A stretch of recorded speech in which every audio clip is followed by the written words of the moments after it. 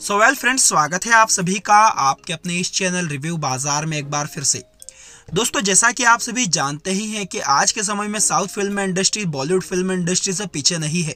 South की फ़िल्मों को आज के समय में ज़्यादा पसंद किया जाता है इन कंपैरिजन टू बॉलीवुड तो आज के इस वीडियो में दोस्तों, हम बात करने वाले हैं तेलुगु फ़िल्म इंडस्ट्री के जुड़े तीन ऐसे सुपरस्टार्स के बारे में, जिन्हें पैन इंडिया लेवल पर बेहद पसंद किया जाता है और इनकी फ़ैन फॉलोइंग दोस्तों, दिन पे दिन बढ़ती ही जा रही है। तो अगर आप भी pan India superstar Prabhas stylish and dancing superstar Allu Arjun और सुपरस्टार महेश बाबू के डायहार्ट फैंस है और इनकी फ़िल्मों का इंतज़ार कर रहे हैं तो इस वीडियो को लाइक और चैनल को सब्सक्राइब करना बिल्कुल ना भूलिएगा। तो चलिए शुरुआत करते हैं।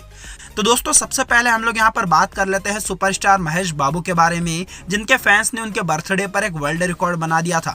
जी हाँ दोस्तों, आपको बता दें कि सुपरस्टार महेश बाबू के फैंस जो कि आज के समय में पूरी दुनिया में है, उनके फैंस ने दोस्तों पिछले 24 घंटे में 60 मिलियन से ज़्यादा ट्वीट करने का एक रिकॉर्ड बनाया और उनके बर्थडे पर वर्ल्ड रिकॉर्ड के साथ सभी को पीछे छोड़ दिया। आपको बताते चले दोस्तों की महेश बाबू की अपकमिंग फ़िल्मों में सरकारी वारू पाता का नाम आता है, जिसे की इंडियन बॉक्स ऑफ़िस पर दो हज़ार इक्कीस में रिलीज़ किया जाना है। इस फ़िल्म का दोस्तों पोस्टर और मोशन पोस्टर भी रिलीज़ किया जा चुका है, जिसे की ऑडियंस ने बेहद पसंद किया है। हालाँकि दोस्तों यह फ़िल्म पैन इंडिया रिलीज़ नहीं हो रही है और इस फ़िल्म को सिर्फ़ तेलुगु भाषा में ही रिलीज़ किया जाएगा, जिसका बजट लगभग सौ करोड़ रुपए का बताया गया है। इस फ़िल्म के लीड में दोस्तों आपको कीर्ति सुरेश नज़र आने वाली है और इस फ़िल्म को डायरेक्ट करने वाले हैं परशुराम।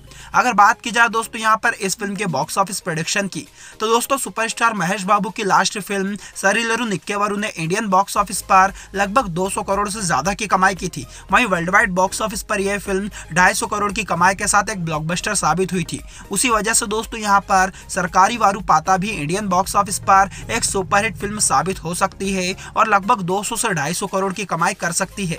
हालाँकि दोस्तों उनकी इस फ़िल्म को अगर पैन इंडिया रिलीज़ मिलती और यह फ़िल्म भारत की पाँचों भाषाओं में रिलीज़ होती तो इस फ़िल्म का कलेक्शन लगभग 400 से 500 करोड़ का भी हो सकता था। वहीं अगर बात करें दोस्तों यहाँ पर हम लोग सुपरस्टार प्रभास के बारे में। तो जैसा कि आप सभी जानते हैं दोस्तों कि सुपरस्टार प्रभास को आज पूरी दुनिया जानती है। इनकी फ़िल्म बाहुबली और बाहुबली टू ने तो वर्ल्ड सिनेमा को कई सारे रिकॉर्ड से अचंभित कर दिया था। दोस्तों बताते चले आपको कि बाहुबली टू इंडिया में सबसे ज़्यादा कमाई करने वाली फ़िल्म है, जिसका की इंडिया से कलेक्शन लगभग 1400 करोड़ का है और वर्ल्ड वाइड बॉक्स ऑफ़िस पर लगभग 1800 करोड़ का है। वहीं अगर बात करें दोस्तों उनकी दूसरी फ़िल्म साहो के बारे में तो दोस्तों साहो एक साइंस फिक्शन फ़िल्म थी। हालाँकि दोस्तों इस फ़िल्म को इंडियन बॉक्स ऑफ़िस पर ऑडियंस की तरफ़ से मिक्स रिव्यूज़ मिले। उसके बावजूद भी यह film world wide box office पर साढ़े चार सौ करोड़ की कमाई करने में सफल रही और एक ब्लॉकबस्टर फ़िल्म साबित हुई। इसी तरह दोस्तों, उनकी अपकमिंग फ़िल्मों में राधे श्याम भी शामिल है, जो कि इंडिया की पाँच बड़ी भाषाओं में रिलीज़ हो रही है। साथ ही में दोस्तों, एक फ़िल्म वो साइंस फिक्शन करने वाले हैं, जिसके लीड में बॉलीवुड की लेडी सुपरस्टार दीपिका पादुकोण भी नज़र आने वाली है। इसी के साथ दोस्तों, प्रभास के पास पैन इंडिया लेवल पर दो बड़ी फ़िल्में हैं, जो कि इंडियन बॉक्स ऑफ़िस पर कई सारे नए रिकॉर्ड बना सकती है।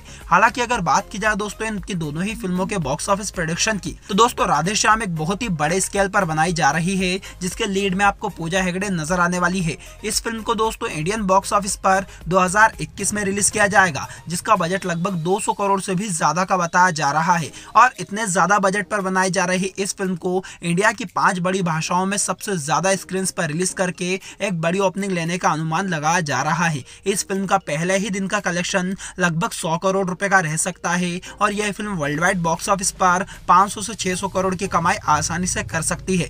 वही दोस्तों, अगर बात करें उनकी दूसरी फ़िल्म यानी कि प्रभाष 21 के बारे में तो दोस्तों, इस फ़िल्म के लीड में आपको दीपिका पादुकोण भी नज़र आएगी, जिनकी वर्ल्ड वाइड बॉक्स ऑफ़िस पर काफ़ी अच्छी फ़ैन फॉलोइंग है। इसी वजह से दोस्तों, यह फ़िल्म भी इंडिया में और वर्ल्ड वाइड बॉक्स ऑफ़िस पर एक बड़ी ओपनिंग ले सकती है, जिसका बजट लगभग साढ़े तीन सौ करोड़ से भी ज़्यादा का रहेगा। और इस फ़िल्म का collection world wide box office पर एक हज़ार करोड़ से भी ज़्यादा का हो सकता है।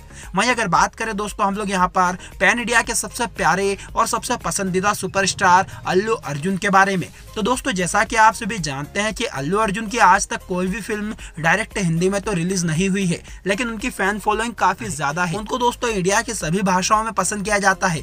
हिंदी, तमिल, तेलुगु, कन्नाडा, मलयालम, बिहारी, गुजराती मतलब कि हर एक सिनेमा के लोग अल्लू अर्जुन के दीवाने हैं। उनके स्टाइल, डांस स्वैग और एक्शन को सभी लोग पसंद करते हैं। इसी वजह से दोस्तों, अल्लू अर्जुन को पैन इंडिया का सबसे प्यारा और सबसे फेवरेट सुपरस्टार माना जाता है। अगर बात करें दोस्तों इनकी upcoming pan India release Pushpa के बारे में तो दोस्तों बताते चले आपको कि पुष्पा एक एक्शन थ्रिलर फ़िल्म है, जिसका डायरेक्शन करने वाले हैं सुकुमार इस फ़िल्म को इंडियन बॉक्स ऑफ़िस पर 2021 में ही रिलीज़ किया जाना है। और दोस्तों, उम्मीदें हैं कि इस फ़िल्म के सामने प्रभास की फ़िल्म या फिर महेश बाबू की फ़िल्म को लगा जा सके। लेकिन दोस्तों, बताते चले आपको कि जिस तरह से यहाँ पर अल्लू अर्जुन की फ़ैन फॉलोइंग बढ़ती जा रही है। उस हिसाब से दोस्तों उनकी इस फ़िल्म के सामने किसी भी स्टार की फ़िल्म को लगाना गलत होगा। क्योंकि दोस्तों अल्लू अर्जुन की फ़ैन फॉलोइंग को देखते हुए यह फ़िल्म अपने पहले ही दिन लगभग 120 से 150 करोड़ रुपए की ओपनिंग ले सकती है। वहीं वर्ल्ड वाइड बॉक्स ऑफ़िस पर दोस्तों इस फ़िल्म का कलेक्शन लगभग 500 करोड़ रुपए का रह सकता है। जैसा कि दोस्तों उनकी लास्ट फ़िल्म अलावे कुंठ पूरा मूल्यों ने किया था। इस फ़िल्म का बजट मात्र अस्सी करोड़ रुपए का था, जबकि दोस्तों ये फ़िल्म सिर्फ़ एक ही भाषा में रिलीज़ होने के बाद दो सौ अस्सी करोड़ रुपए की कमाई करने में सफल रही और एक ऑल टाइम ब्लॉकबस्टर साबित हुई। तो दोस्तों, इन तीनों ही सुपरस्टार्स के कंपैरिजन किया जाए तो सुपरस्टार महेश बाबू, जिनकी पैन इंडिया रिलीज़ का सभी को इंतज़ार है सुपरस्टार अल्लू अर्जुन, जिनकी फ़िल्म पुष्पा एक ब्लॉकबस्टर ओपनिंग ले सकती है, और पैन इंडिया के सबसे बड़े सुपरस्टार माने जाने वाले प्रभास की दोनों ही फ़िल्में इंडियन बॉक्स ऑफ़िस पर नए रिकॉर्ड बनाएगी। आपको क्या लगता है दोस्तों, इन तीनों ही सुपरस्टार्स में नॉर्थ इंडिया में सबसे ज़्यादा किसे पसंद किया जाता है? हमें अपनी राय कमेंट करना बिल्कुल ना भूलिएगा। धन्यवाद। जय हिंद जय भारत।